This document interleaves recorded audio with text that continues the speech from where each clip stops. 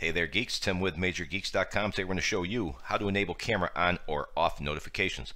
Let me show you how, what it looks like, how it works.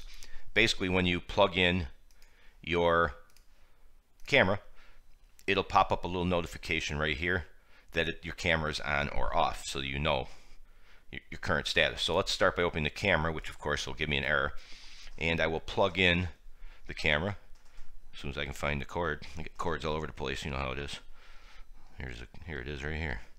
Guess I should have been more prepared, but hey, here we are. All right, let's plug it in. Give the camera app a second to detect that I have a camera, and once it does, right about here, there it is, camera on. Now, if you disconnect your camera, unplug it, turn it off, you should see the same message right here that says camera off. That's it. Just another way to know that your camera's off. Maybe your light's broken, for example, something like that. So in the video description, you can find a link to do one of two things. You're going to get to this page, of course, with a tutorial. You can click here to download the registry files if you like. So once you have the registry files, you just click on camera on or off, enable or disable. So let's say we'll make sure it's enabled. And you just click yes, yes, okay, and you're done. Piece of cake. So now, if you're used to using playing with a registry, you still can. And it's not a hard one, it's a real easy one. You're going to open the registry editor, Windows key plus R, type in regedit, click OK. And you're going to jump to computer, H key local machine, software, Microsoft, OEM, device, capture. That's where we are here. As you can see, I already ran the registry file, so there it is.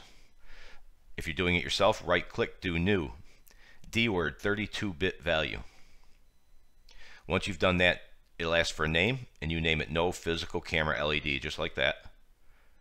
And then double check and verify that the status is 1. That's it. Let's say you change your mind. There's two things you do. If you're going to bounce back and forth, the registry files are easier. Just change that to a 0, and that will disable it. Or you can actually just delete it. So you can just right click, delete, or click on it and press the delete key if you're done with it. And of course, as I mentioned, it's just easier to,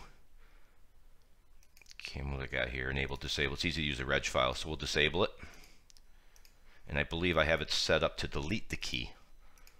Where are we? Here we are. Let's do a F5. Nope, I got it set to zero, so that's it. So if I run, turn it back on, should change that value data back to one on off pretty easy.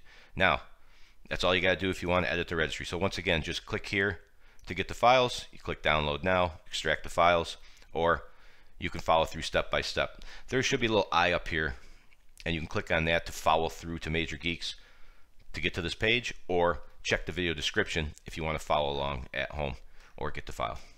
There you have it. That's how to enable camera on off notifications. Neat little trick. I like it. Hope you do too. Thanks for watching as always. See ya.